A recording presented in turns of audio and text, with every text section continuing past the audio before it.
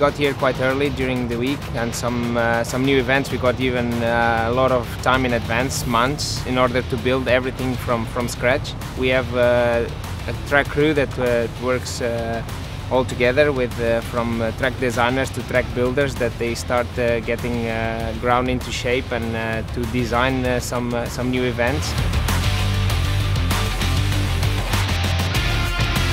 When I started with this job, I got really surprised by how much people is working behind the scenes and uh, really get the job done and working really hard in order to put this event together and uh, bring all the best uh, to everyone.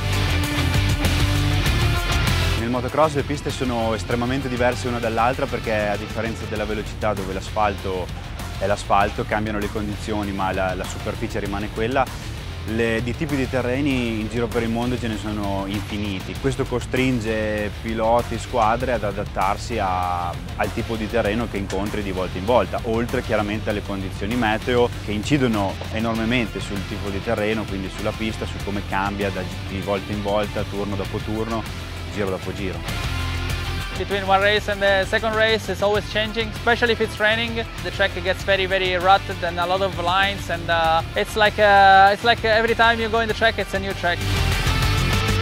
We work on the condition when we never know what's going to happen. Like we, one week we are in the Netherlands, which is almost zero degrees, and next week we are in Spain, 2,000 kilometers south, which could be even 25 degrees. So this makes our job really exciting and, on the other hand, also very difficult.